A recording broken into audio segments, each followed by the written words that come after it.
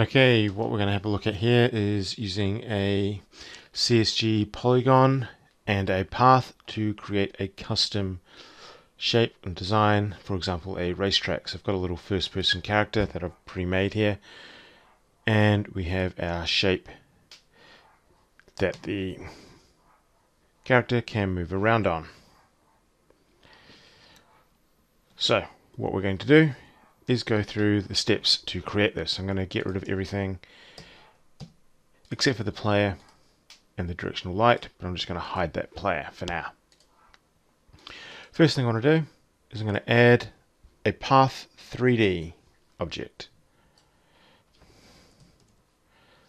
So we've got path 3D and I'm going to jump onto the top down view. Now there's a few different options. So there's blue, which lets you select points, shift drag, control points, so basically adding curves, green for add, add red for delete, and a close curve option. We can actually get to most of the features just using the first one and by pressing control. So I've changed my view just so I'm looking top down. And I'm going to zoom out a little bit. Let's actually just turn that light off.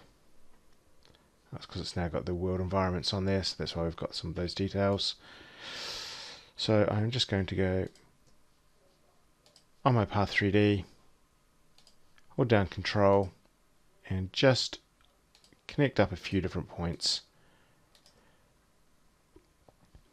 Uh, when I'm finished, I can click on the close curve, and it joins it back up. And what we can sort of see is we've got this path that has been built around here.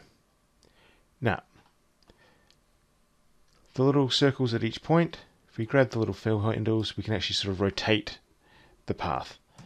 But I'm going to actually leave that out for now.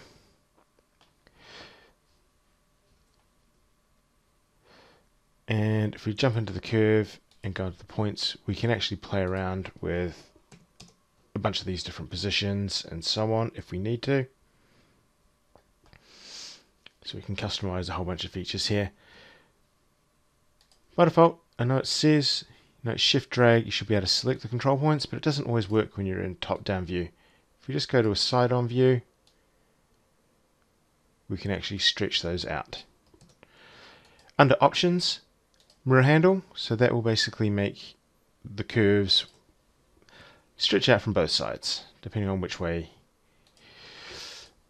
you connect them. So what I'm going to do here is I'm just going to put some nice little curves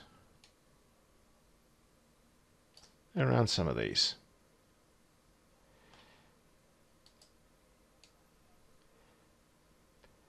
But note, when we're sort of editing here, we're going through and actually changing on the y-axis as well.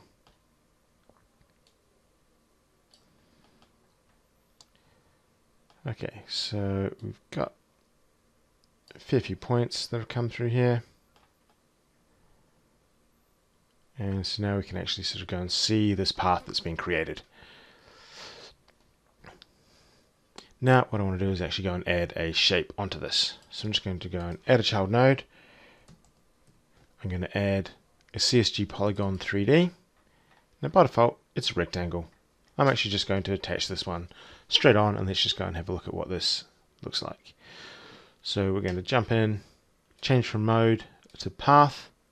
Under path node where it says assign, we're going to link it up to our path.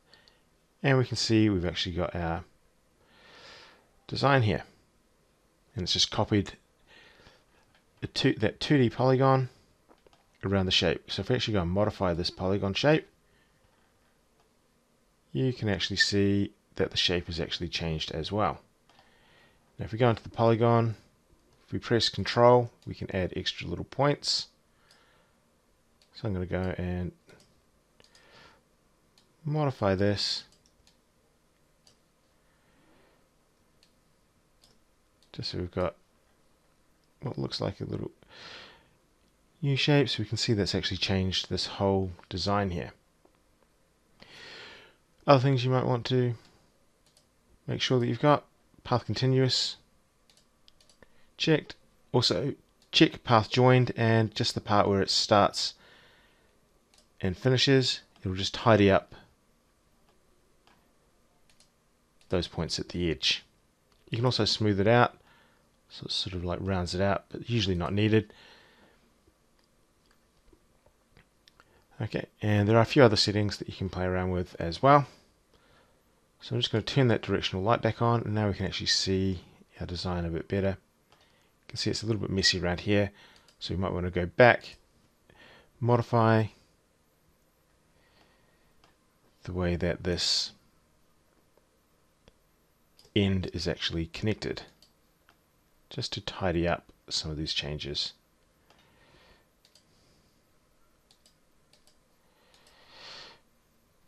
So it can take it be a little bit finicky tidying up these edges around.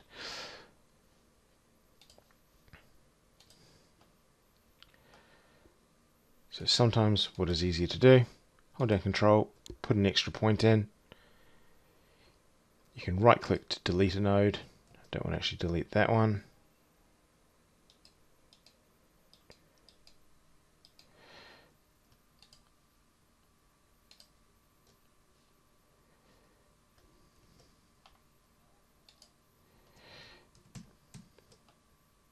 So we can actually get some different points in here. And let's just join that one back up. Now let's go and have a look at this. A lot nicer. So we can sort of play around. What's nice about this is that we can actually make these points and spin the curve around. So what we might want to do is actually just build the node horizontally first just on one plane and you can always go and modify it later once you've got this shape assigned to it. Okay, so we've got this built. Let's go turn back on our player object. Let's zoom in on them and let's just move them so they're actually in over top of the level.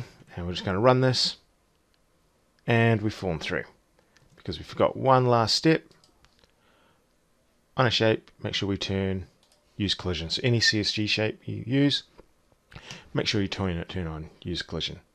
And so now we've got our shape.